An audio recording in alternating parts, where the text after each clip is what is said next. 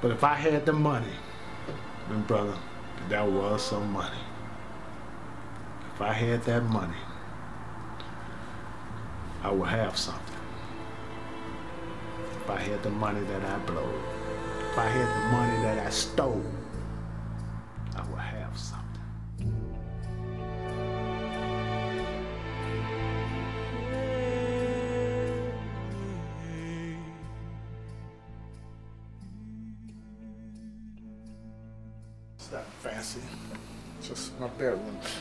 Everything in here. I got this off an old job I was working on.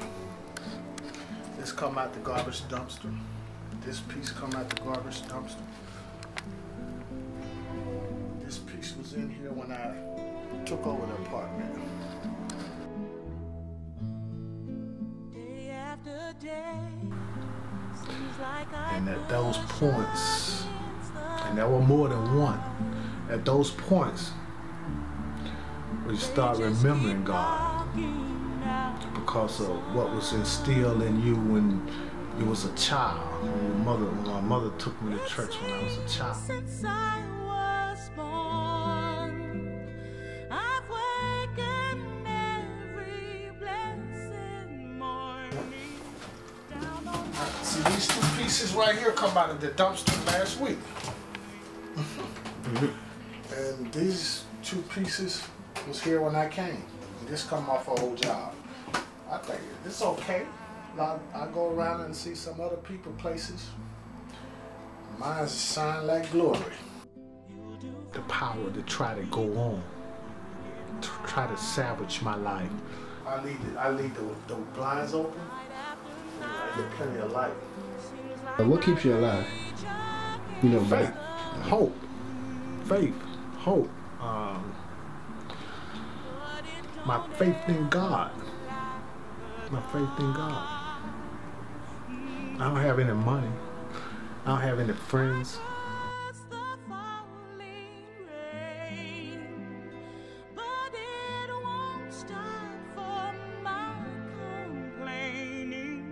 Down on my luck and up against the wind.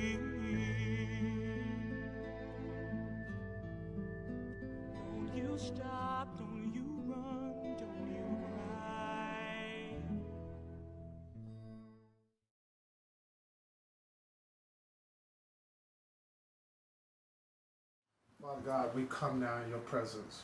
It's testimony time.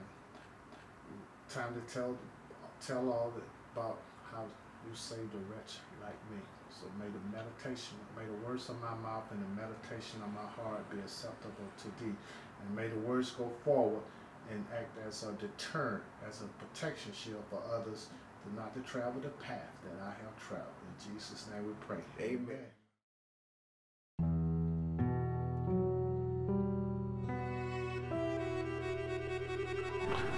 My name is Mitchell, Joseph Mitchell. I'm from the state of Alabama. I'm 50 years old. I come from a large family, a very large family. That's 10 of us, and nine of us are living. I'm the youngest of the 10. Prior to this year, I haven't called my mother in three, four years. She and my father dissolved my birthrights. And I'm, I'm somewhat angry about that. If I had a stayed an heir to the property, once my mother passed, I would inherit X amount of acres of land with a good deal of money. But trouble hit the family and my father and mother had to make a decision at one point. I will inherit nothing. So you might as well go now and try to start some sort of life for yourself at this point. But let me get it clear now. I love my mother. I'm not mad at her. I can call her right now and ask her for a thousand, two thousand, three thousand dollars. You know what? I'll get it in a matter of hours. I'm not gonna do it. I'm 50 years old already. If I can't make a life for myself at this age, then I might as well die. If I can't make it for myself, I Might as well die. I could pick up the phone and call mom. She'll send me anything I ask for. She asked me the last time I called her what I need. I don't need nothing. 50 years old, and I can't feed myself and keep a roof over my head. I might as well die. But I'm doing okay. I'm doing okay. Made some bad decisions and kept making bad decisions. Don't get me wrong now, you kept making these bad decisions to end up here. Uh, doing the wrong thing with your money. That's basically it. I don't have a mental problem. I did have a drug problem. Marijuana started in high, high school, 79, 1979, 1980. From there, I moved to the state of New Jersey after high school. And that's where I got introduced to cocaine. And ever since then, 1984, up until this point, I would say, my life was hell. It was never the same when I was introduced to cocaine. Once I was introduced to cocaine, it went from one thing to another and went down here. It took a long time. It took a long time, and that was because of the strength of my family. It took decades for me to get to the bottom because of the strength of my family. But at some point, they pulled their hands back. Yep, let me go. Before drug use, before the drugs, I was a hell of a businessman. I owned real estate. I owned two, three family houses at the age of 22, 23. I worked it for UPS. I had a brand new Vette. 22, 23 years old. I had the world. Why you started using drugs? You ever been to New York? You ever been to New Jersey? Mm-hmm. The lights are bright. Right. The street lights are bright. The women are beautiful. The city never sleeps. You got plenty of money in your pocket. Beautiful women around you. You get too comfortable. Some of them introduce you to this. You never had this before. Remember, I'm 22, 23 years old. I'm a country boy. I'm from Alabama. I never seen this before. never had this before. And here I go. My life been changed from there. Never been the same. So, once you met cocaine, would you say that that's where all of your money went?